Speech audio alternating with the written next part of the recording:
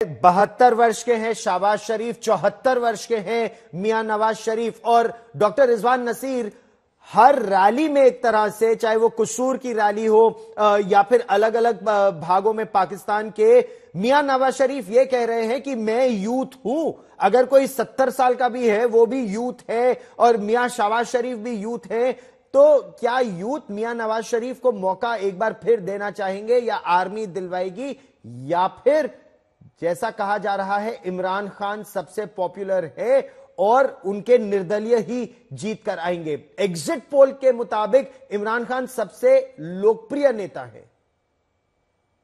जी, गौरव, बहुत शुक्रिया। देखिए, इस तरह की स्टेटमेंट जो देना कि मैं यूथ हूँ, मैं यूथ में से हूँ, इसका मकसद यह है कि पाकिस्तान में इस वक्त जो यंग वोटर है, वो बड़ा अवेयर है।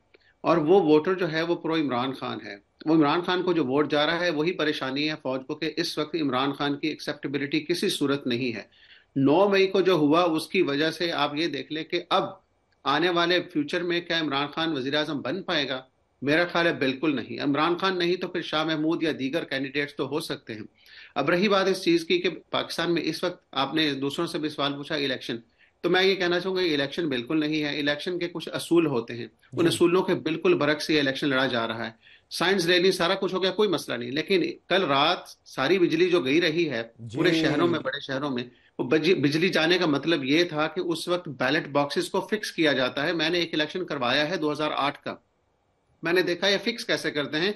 बैलेट बॉक्सेस भगकर वहाँ पे रखे जाते हैं और कुछ बैलेट बॉक्सेस रिटर्निंग ऑफिसर्स के पास रखे जाते हैं जहाँ से रिज़ल्ट अनाउंस होता है। तो ये एक किस्म की ऑर्गेनाइज धांधली की जा रही है जिसकी वजह से जो वो चाह रहे हैं कि मियाँ नवाज़ शरीफ को वजी अजम तो बना दें एक बार फिर यही कहना चाहूँगा कि नवाज़ शरीफ एक्सेप्टेबल नहीं है।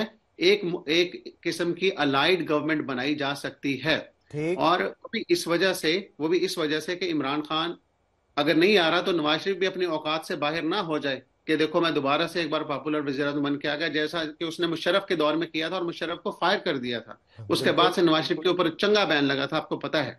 बिल्कुल, कारगिल की लड़ाई के बाद हमने वो तस्वीरें देखी भी थी, किस तरह से ट्रिपल वन ब्रिगेड एकाएक सड़कों पर उतर आई थी। लेकिन आरज़ू काजमी, क्या सेना एक बार फिर मियाँ नवाज़ शरीफ पर भरोसा करेगी? तीन बार रिश्ते टूट चुके हैं। खबर तो यह भी है आरज़ू कि नवाज़ शरीफ ने कहा है, या तो उन्हें 170 सीटें दी जाए, या फिर वो विपक्ष में बैठेंगे। और सेना यह चाहती है कि जो इंडिपेंडेंट्स हैं, उनके भरोसे रहे नवाज़ शरीफ ताकि सेना का कंट्रोल उन पर लगातार रहे। और इसीलिए कल रात से बिजली बंद है, आज सवेरे से इंटरनेट बंद है, ताकि सेना जो चाहती है कर ले। बिल्कुल गौरव, यहाँ पर जो है वो आर्मी और एजेंसीज ही सबसे ज़्यादा मज़बूत हैं और वो बिल्कुल ऐसा नहीं होने देंगे जैसा कि नवाज़ शरीफ चाहेंगे या इमरान खान चाहेंगे। वो लोग सिर्फ़ इस्तेमाल करते हैं पॉलिटिशियंस को और अभी भी यही हो रहा है। जिस तरह से इलेक्शंस कराए जा रहे हैं, इस बात की कोई गारंटी नहीं है कि नवाज़ शरीफ साहब अगर आ भी गए तो वो पाँच साल जो है वो कंप्लीट कर पाएँगे। यकीनन उनकी गवर्नमेंट पहले ही गिरा दी जाएगी, जिसके लिए बहुत से एक्सपर्ट्स अभी से कहना शुरू हो गए हैं पाकिस्तान में कि ये ज़्यादा से ज़्यादा एक साल या दो साल ये गवर्नमेंट चला पाएँगे। उसके बाद फिर इनको हटाया जाएगा और बहुत हद तक जो इस बार हमारी नई स्टैब्लिशमेंट आई है उसको ये भी कहा जा रहा है कि शायद ये जयाउल हक के सर पे भी हाथ फेर दें। इतने ज़्यादा ये लोग जो हैं वो चल रहे हैं जिस तरह से अपने आप को लेकर तो उससे लग यही रहा है कि किसी तरीके से भी पॉलिटिशियंस को काम नहीं करने दिया जाएगा और जो हाल पाकिस्तान का इस वक्त है इससे खराब होता हुआ ही हम देखेंगे। आपने देखा बलूचिस्तान में भी ब्लास्ट हुए हैं। कल दो ब्लास्ट हुए हैं और उसके बाद जो हालत है तो इन्होंने एक बहाना बना लिया और इस वजह से इन्होंने इंटरनेट सर्विसेज़ और मोबाइल सर्विसेज़ भी जो है वो बंद कर दिए। मगर कहीं ना कहीं जो है वो इमरान खान को आप चाहे क्रेडिट दें या ना दें लेकिन जो इस वक्त पाकिस्तान की आर्मी और स्टैब्लिशमेंट है वो भी थोड़ा सा बैकफुट पर है क्योंकि इस वक्त पब्लिक में बहुत ज़्यादा अवेयरनेस आ गई है।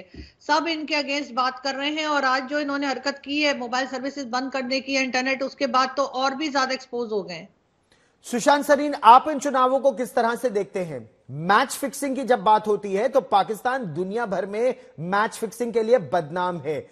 अभी खबरें जो पाकिस्तान से आ रही हैं, वो ये कह रही हैं कि अगर एक घर में दस वोट है या बारह वोट है तो 12 के 12 वोट अलग अलग मतदान केंद्र में, शहर के अलग अलग भागों में कर दिए गए हैं, ताकि एक परिवार वोट पूरी तरह से दे भी ना पाए। यह चुनाव पूरी तरह से फिक्स्ड है, और जैसा हमारे पाकिस्तानी गेस्ट हमें बता रहे हैं कि पाकिस्तान की सेना हो या वहाँ का इलेक्शन कमीशन हो, या फिर जुडिशरी भी, सब हैंड इन ग्लव है, सब मिलकर ये कर रहे यार गौरव यू नो लेट मैं थोड़ा सा डेविल्स एडवोकेट प्ले करता हूँ. Not I am a fan of Pakistan army और पाकिस्तान इलेक्शन और मैं ये मानता हूँ कि इन इलेक्शन में बहुत धांधली हो रही है और, और जो लेवल प्लेइंग फ़ील्ड है और जिसको पाकिस्तान में प्री पोल रिगिंग बोला जाता है वो काफ़ी हद तक हुई है.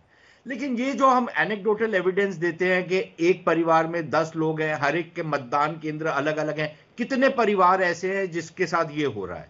भाई ये होंगे एक दो तीन परसेंट चार परसेंट लोग ऐसे होंगे परिवार ऐसे होंगे जहाँ पर ये प्रॉब्लम आई होगी ज़रूर आई होगी और, और कई जगहों पर शायद जानबूझ करके लाई गई होगी ये प्रॉब्लम लेकिन ये क्या हर परिवार में ऐसे हो रहा है? आई डोंट थिंक सो नहीं लेकिन इन, हमारे इंटरनेट बैन बिजली बंद। एक मिनट एक एक करके आते हैं ना एक एक करके आते हैं। इंटरनेट बैन की कई दिन से बाशगश चल रही है कि ये होगा।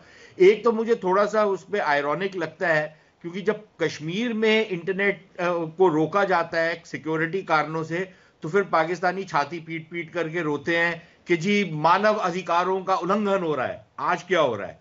और पाकिस्तान में तो अक्सर ये होते रहता है, पहली बात। लेकिन दूसरी बात ये है कि ये माना जा रहा है कि इस तरीके से जो क्योंकि पीटीआई की जो मोबिलाइजेशन है वो ऑन ग्राउंड तो हो नहीं सकती। वो सोशल मीडिया के थ्रू या इंटरनेट के थ्रू ही होनी है उनकी मोबिलाइजेशन अगर उन्होंने अपने कार्यकर्ताओं को निकालना है अपने समर्थकों को निकालना है वोटिंग बूथ तक उनको प्रोत्साहित करना है कि वो वहाँ पर जाकर अपना मतदान करें तो वो इंटरनेट का इस्तेमाल करेंगे। अगर आपने इंटरनेट पर कदघन लगा दी है और मुझे नहीं पता कि कौन कौन से एरियाज़ में लगाई है लेकिन अगर आपने पंजाब और जहाँ जहाँ पर के, केपी में जहाँ पर पीटीआई का बड़ा असर और रसूख है वहाँ पर ये कदगने लगा दी हैं तो फिर ये ऑब्वियस है कि आप उनको एक और आपने एक ऑब्स्टिकल उनके पाथ में डाल दिया कि ये जाकर के अपना मतदान ना कर सके। तो वो भी धांधली के उसमें जुमरे में आएगा। लेकिन इसके साथ साथ जैसे ये तो हमारे को पहले ही पता है कि पीटीआई को इजाज़त नहीं है चुनाव जीतने की। क्वेश्चन ये है कि जो बाकी पार्टियाँ लड़ रही हैं या उनके बीच में चुनाव हो रहा है कि उनके बीच में सिलेक्शन हो रही है? मेरे ख्याल मेन मुद्दा ये है। और सिलेक्शन हो रही है क्यों हो रही है हम आपको बड़ी तस्वीर पाकिस्तान की समझाने का प्रयास करते हैं। इस समय अगर आप पाकिस्तान की स्थिति देखें तो कुल मिलाकर 342 सीटों पर आ, की उनकी आ, पाकिस्तान नेशनल असेंबली जिसे पीएनए कहते हैं पाकिस्तान की नेशनल असेंबली है छह साल का उनका कार्यकाल होता है। अब 169 उनका हाफ़ वे मार्क माना जाता है। यही पाकिस्तान में जो मियाँ नवाज़ शरीफ की पार्टी है, पाकिस्तान मुस्लिम लीग नवाज़, वो ये कह रहे हैं कि मुझे कम से कम 169 चाहिए, तभी अगर 170 होगा तो मैं सरकार बनाऊँगा, मैं विपक्ष में वरना बैठूँगा। लेकिन क्या यह केवल इस तरह की बातें फ़िलहाल की जा रही हैं? दूसरी बात जो बहुत महत्वपूर्ण है, जो पाकिस्तान तहरीक इंसाफ के नेता हैं वो बतौर निर्दलीय लड़ रहे हैं। उनका बल्ला चुनाव चिन्ह छीन लिया गया है। मियाँ नवाज़ शरीफ को पीएम बनाने के लिए कहा ऐसा जा रहा है कि इमरान खान को तीन केसेस में तो सजा दे दी गई है। डेढ़ सौ केस, डेढ़ सौ केस अभी भी इमरान खान के ऊपर है।